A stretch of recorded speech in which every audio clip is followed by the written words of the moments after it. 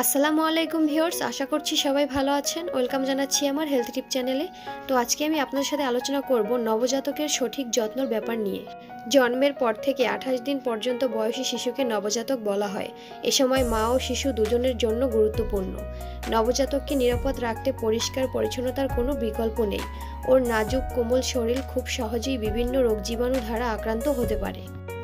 জন্মের এক ঘণ্টা শিশুর জন্য সবচেয়ে গুরুত্বপূর্ণ। তাই সময়টা শিশুর জন্য গোল্ডেন ওয়ান আওয়ার শিশুর জন্মের পরে প্রথম ও একমাত্র কাজ হলো মায়ের দুধ শালদুধ খাওয়ানো। শালদুধ শিশুর জন্য প্রথম টিকা হিসেবে কাজ করে এবং শিশুকে বিভিন্ন রোগ থেকে রক্ষা করে। শালদুধ পরিমাণে কম হলেও শিশুর জন্য যথেষ্ট ও পরিপূর্ণ পুষ্টি যোগায়। শালদুধ খাওয়ালে শিশুর রাতকানা, জন্ডিস ও অন্যান্য রোগ হওয়ার আশঙ্কা কম থাকে। শাল দুধ খাওয়ালে মা ও শিশু উভয়ই সুস্থ থাকে। শুধু মায়ের দুধ খাওয়ানো বলতে বোঝায় শিশুকে পূর্ণ ছয় মাস কেবল বুকের দুধই পান করানো। জন্মের পর নবজাতককে নরম কাপড় দিয়ে ভালোভাবে মুছে পরিষ্কার করে নিতে হবে। এখন যেহেতু শীতের সময়, এ সময় শিশুকে একটু ভালো মোটা কাপড় দিয়ে ভালোভাবে জড়িয়ে রাখা উচিত। শিশুর জন্মের তিন দিনের মধ্যে নবজাতককে গোসল করানো যাবে না। নবজাতকের স্বাভাবিক ওজন হলো আড়াই কেজি। এই ওজনের চেয়ে কম বা কোনো সমস্যা হলে চিকিৎসকের পরামর্শ নেওয়া উচিত। শিশু জন্মের পরে নবজাতককে মধু বা চিনির পানি খাওয়ানো ঠিক নয়।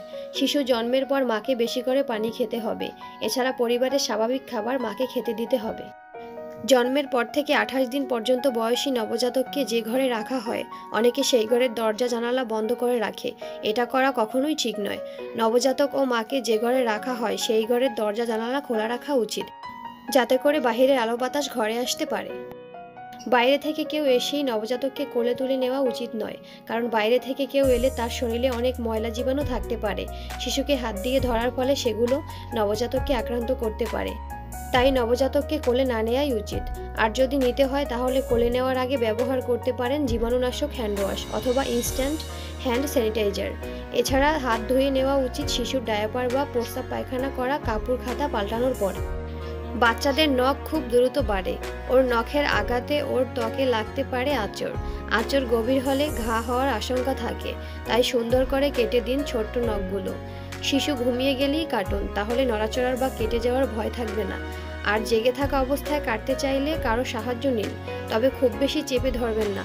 বাচ্চাদের নখ সাধারণত নরমই থাকে, তবে শক্ত মনে হলে গোসলের পর নখ কাটুন। শিশুকে পোশাক পরানোর সময় এবং ডায়পার বাঁচতে গিয়ে খেয়াল রাখুন, তা আরামদায়ক এবং উচ্চ শোষণ ক্ষমতা সম্পন্ন কিনা। তো ভিওর্স আজ এ পর্যন্তই। আজকে আলোচনা এখানেই শেষ করছি। আশা করছি আজকে আলোচনা থেকে আপনাদেরকে একটু হলেও উপকৃত করতে পেরেছি। ভিডিওটি দেখে যদি উপকৃত হয়ে থাকেন, তাহলে অবশ্যই ভিডিওটিতে একটি লাইক করবেন এবং আমার চ্যানেলটি সাবস্ক্রাইব করে পাশে থাকা বেলাইকনে ক্লিক করে রাখবেন। বেবিদের বিষয়ে এরকম নিউ নিউ হেলথ টিপস পাওয়ার জন্য। তো সবাই ভালো থাকবেন, সুস্থ থাকবেন। আল্লাহ হাফেজ।